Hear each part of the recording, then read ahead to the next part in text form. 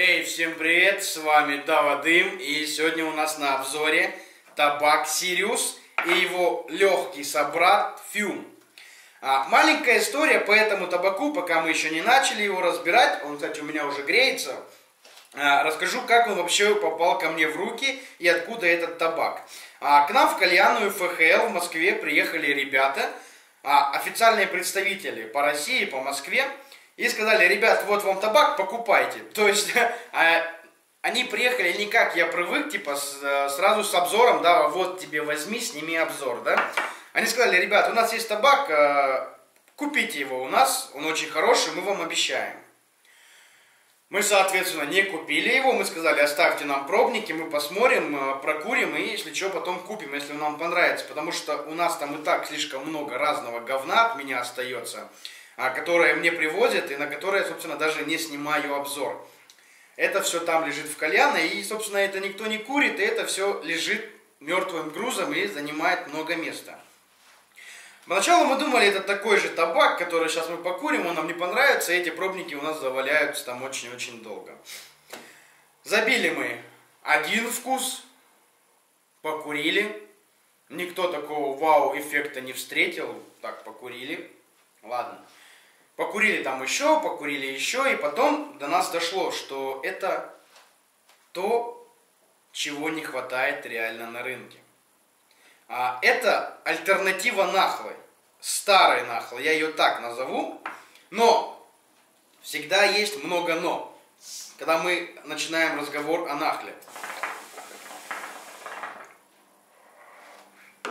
Он не настолько крепкий как хотелось бы. Если, грубо говоря, нахла у нас на семерку-восьмерку шла, да, старая, то это шестерочка. Такая 6, 6,5, возможно даже 5,5. А Фьюм это стабильно пятерка. Это легкая линейка. А Сириус немного покрепче.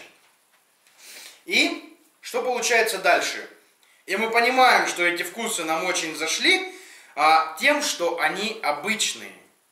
А именно это самый обычный табак который был когда-то давно, в 2012 годах, который можно просто курить и наслаждаться этим, а, без всяких вау-эффектов, да, там, а, и без всяких там супер вкусов, типа арахиса, а, миндаля и сыров и так далее. Да, не спорю, эти вкусы крутые, кому-то они заходят, но это просто обычный табак.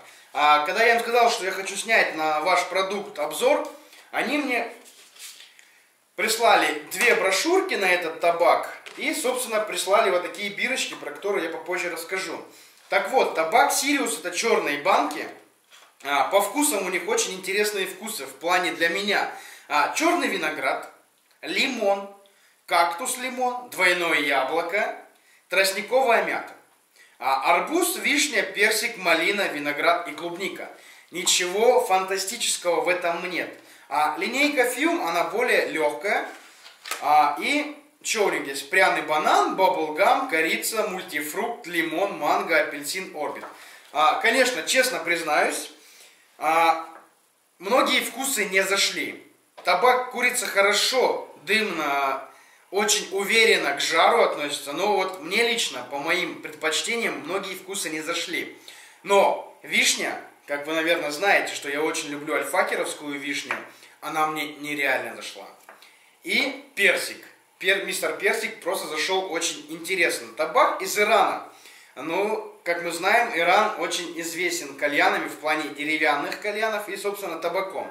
А на рынке России очень мало предоставлено иранских табаков, поэтому это такой, можно сказать, прорыв. Но, сейчас я затянусь и расскажу вам самое интересное, что меня просто дико зацепило в этом табаке.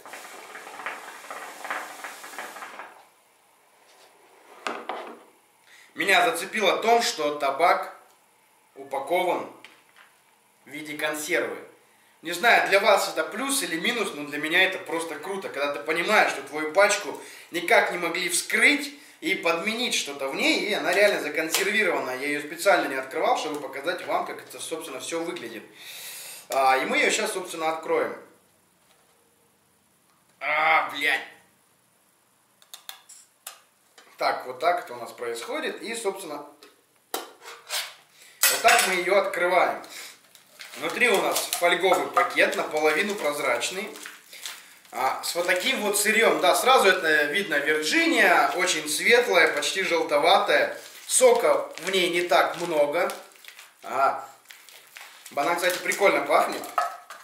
А, и так вот, собственно, что я хочу в оконцове сказать про этот табак, в том, что он реально интересный тем, что он ничем не интересен. А, также а, они будут делать дегустацию своего табака, я думаю, кто в Москве, они могут, собственно, на него приехать. А, будет проходить это 9 июля в 7 часов вечера в кальянной лаборатории по улице Дмитрия Ульянова 5. Так что, если вы реально хотите покурить самый обычный табак, который по ароматике очень похож на нахлу, без грамма химии, то, собственно, приезжайте на эту дегустацию. Может, возможно, мы там с вами увидимся. Я там тоже буду. А, ребята попросили их немного осветить а, такой кальянной культуре через а, презентацию, то есть я там, чтобы немного поснимал. Да, возможно, доля рекламы здесь есть в этом видео, но реклама лишь является тем, что я приглашаю всех на презентацию этого табака. Она будет абсолютно бесплатная, никто ничего не теряет, я думаю, и покурить этот табак и удостовериться в моих словах а, нужно. Обычный табак, не сильно крепкий, приятный, обыденный, повседневный. Так что это Дава Дым, это обзор табака Сириус. Не переключайся.